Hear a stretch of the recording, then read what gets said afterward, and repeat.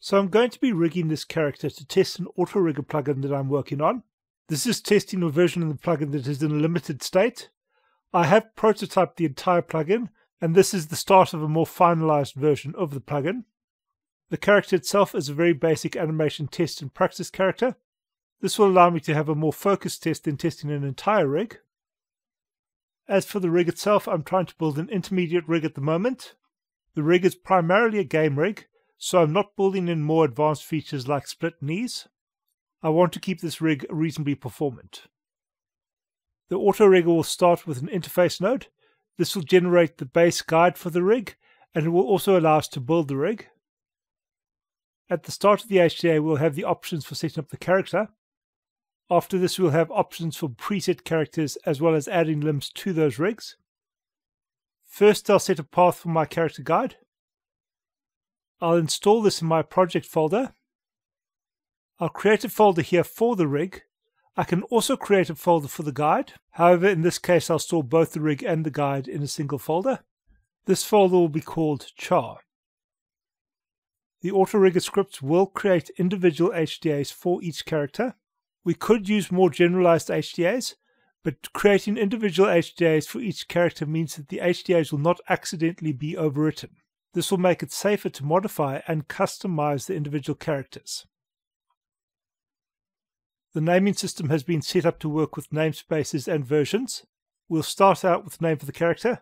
In this case, I'm going to give him a very banal generic name, so I'll call him Ballman. We will then have the author, and we'll have the branch. These kind of naming conventions, of course, depend on the project you're setting up. In this case, my branch will be test rigs. We will then have the version numbers for the rig. In this case, we are starting, so this will be version 1. The result should be a properly namespaced and version name, and a properly namespaced and version type for the character.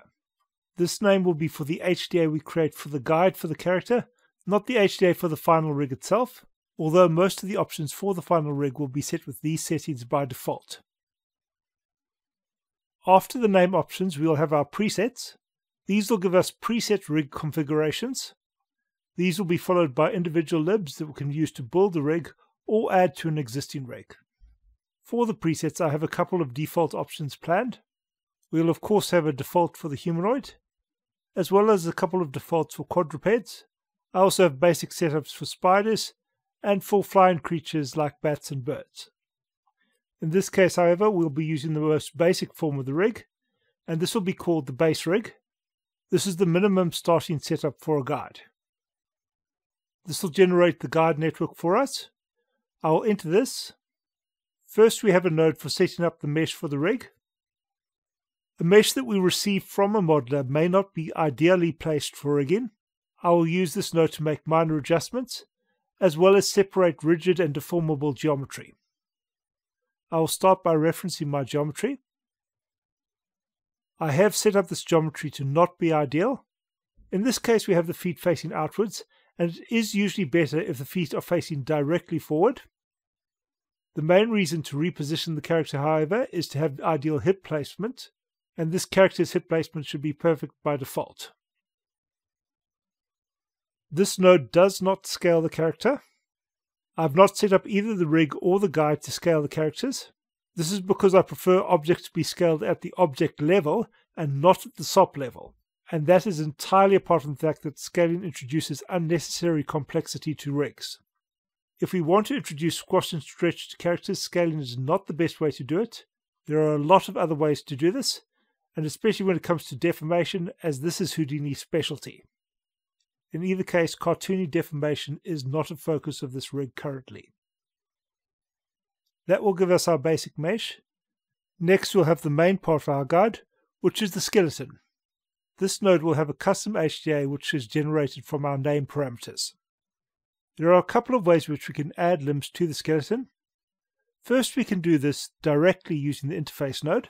We should be able to add most of the limbs to any other limb, with a couple of exceptions regarding the hands and the feet. We do not have to use the interface, however.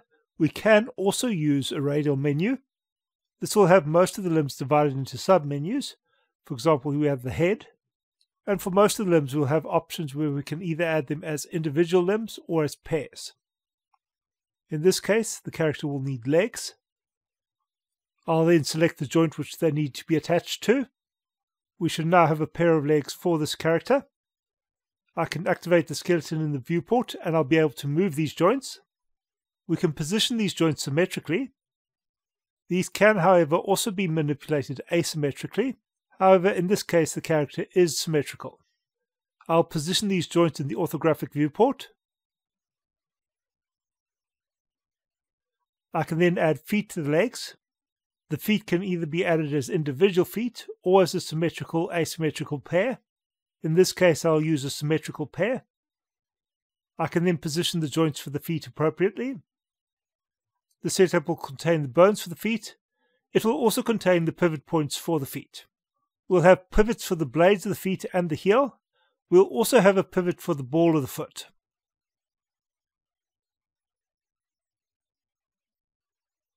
So this will give us the basic skeleton.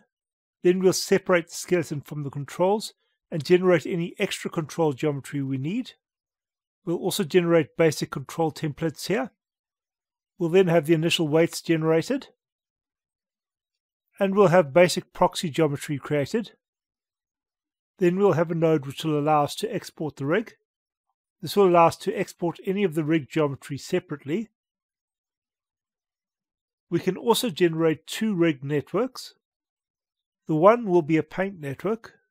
This will allow us to work on the weights for the geometry separately from generating the geometry for the rig. This will allow me to keep this network neat and not have to change any parts of this network. It will also allow me to work on weight paints where the weights are not being regenerated constantly. The other network is a rig network which will generate the rig for the character. So these are three networks. We'll take a look at the paint network now. This will provide a base network which I can use to start painting the weights. In this rig, for example, we don't really need a lot of blending between weights, and in fact most of the character can be bound rigidly.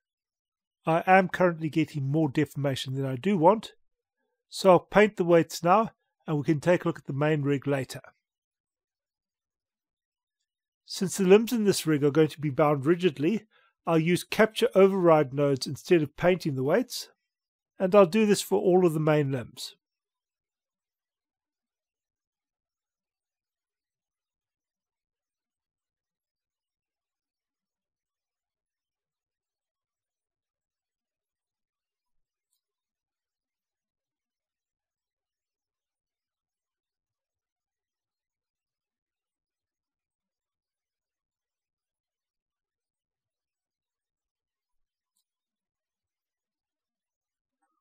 We'll now take a look at the rig itself. For the rig, we have an IK setup and an FK setup. We can toggle the visibility on both of these. At the moment, this FK setup is very basic. I may set up compensation systems for gimbal lock in the future, but at the moment I'm leaving this as a minimal FK. So for the rig itself, we have multiple display options. We can display the mesh itself. We can display the raw proxies. We can display the skeleton and we can display the skeletal animation. So the animation option will give us the animation rig, all the others will give us the raw data from the rig. I have elected not to display the final animation from within this node. This will give us lighter and faster skeletal animation. The deformation itself will be displayed through a display node, and this will allow us to see the deformed mesh or the proxy geometry. This allows us to separate the deformation of the final mesh from the animation of the character and provides a more flexible approach. As you can see, I was weighting things quickly and I was rather sloppy, so I'll need to fix the weights. I'll return to the paint node. I'll update the weights and then I'll re-export the mesh. So I've updated the weights and now we have a better deformation for the leg. So with this display node, we have the deformed mesh, or we have the proxies. I haven't finished updating the proxies properly. I'll just reload the original proxies. These proxies are currently automatically generated, so they're not necessarily the most beautiful proxy geometry, but they will give us a more efficient interaction with the rig. Next we can take a look at some of the features of the rig. I have already stated that the FK controls are rather basic, so we'll take a look at the IK controls instead. The first parameters will be for my hips. The hips will be driven by the center of gravity, but there are a number of controls that we can use to modify the hip behavior apart from the center of gravity. A lot of these do not have a huge amount of purpose in this specific rig, but in more general rigs they are very useful. The first one of these will be our hips pivot. This is currently not visible. This is not something which you'd want to animate with that often, and it's not something which you'd want to move around a lot either. We will look at that after we've looked at the main controls. We have our center of gravity, and this will control our basic rotation and translation for the hips. This will also give us a global control over most of the other hip controls. We then have an independent rotation control.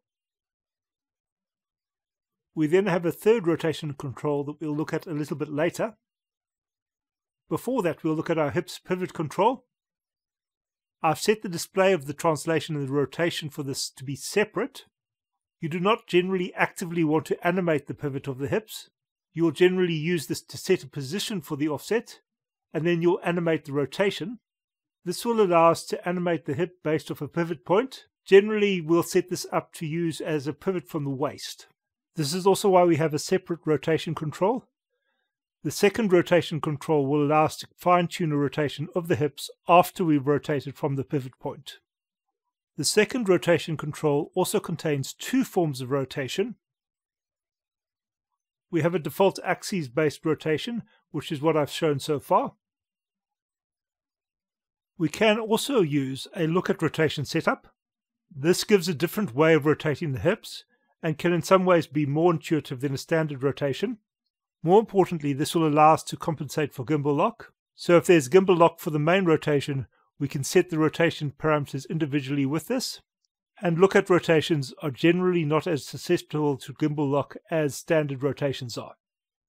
The biggest disadvantage to using these controls as a rotation driver is that you have to animate two controls instead of one control, but the fact that they use translations can make the curves easier to deal with. Overall, this will give us quite a few options for tweaking the rotation of the hips. So we can switch between the display of these to either use the full rotation or to use the look at rotation. We can also display both of these at the same time so that we can see both forms of rotation simultaneously. Next we have a control for the orientation of the hips with relation to the legs.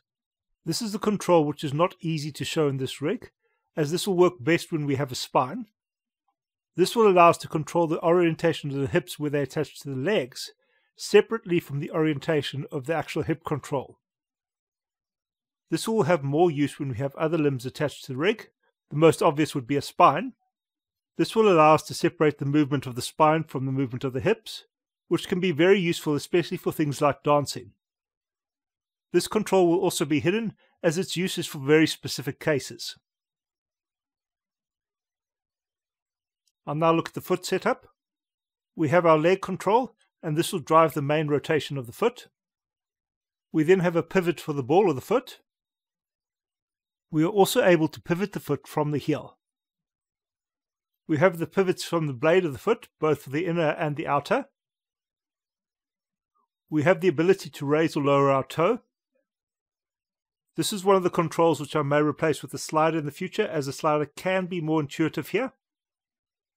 We can then pivot the foot from the toe, and this pivot will be based off the position of the toe. It will not be a world position pivot.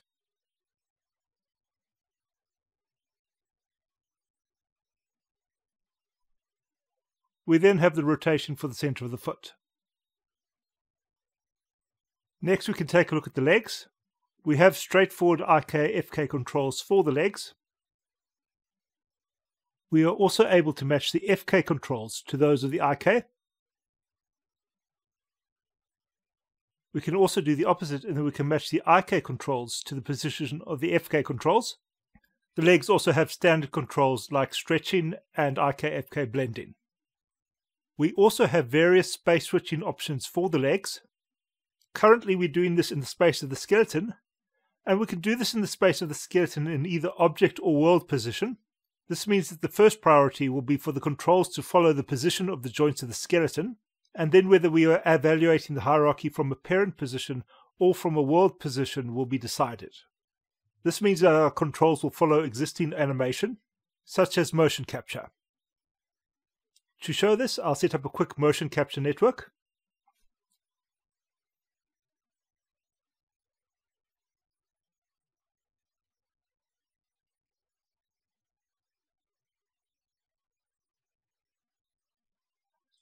I've added motion capture for a basic walk, and the motion capture is now driving the animation. This motion capture is from Mixamo. If we look at the animation for the rig, we'll see that the rig is modifying the motion capture, as this motion capture is altered based off the positioning of the foot. This allows us to animate over the motion capture. It also allows us to re-rig our animation easily.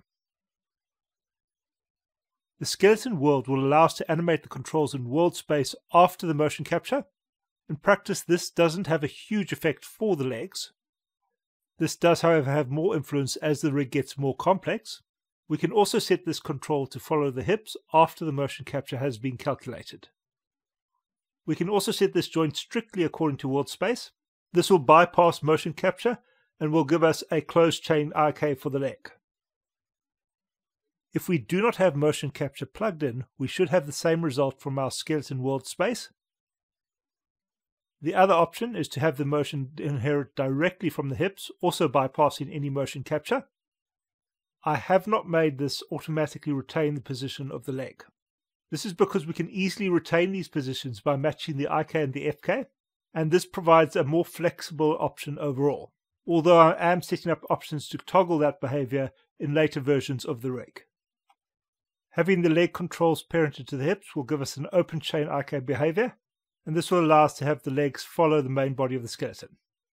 There are also parenting controls for the up vectors, where we can have them parented globally or parented to the hips or the feet, and that will give us the main functionality of the legs at the moment.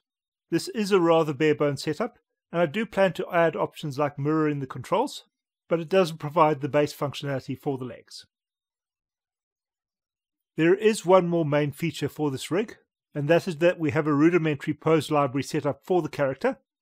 I can scan to see if there is a library. Since we have no library folder, I can add it. This will of course be done at the specified library path. I can enter a pose name and I'll call this neutral. The pose can then be saved using the Save Pose button. I can then activate the rig and I'll pose the character. Seems I have another joint which I didn't weight properly as I was weighting things too quickly. I will fix this quickly.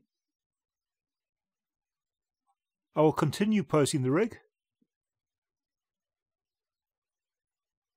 For the moment, I'll call this pose 1. This is not a good name, but it will work for demonstration. Under my pose options, you'll see that there are options none and neutral. I can save this pose and it should now show up under the options as well. I'll set the pose to neutral, and I can now load this pose. This will return us to our initial pose. I'll set the pose to be pose 1, and I can now return to that position. So this is a very basic pose library, but it is functional. So this is the basic auto rigger setup for my legs, and it'll give me a functional ball rig character.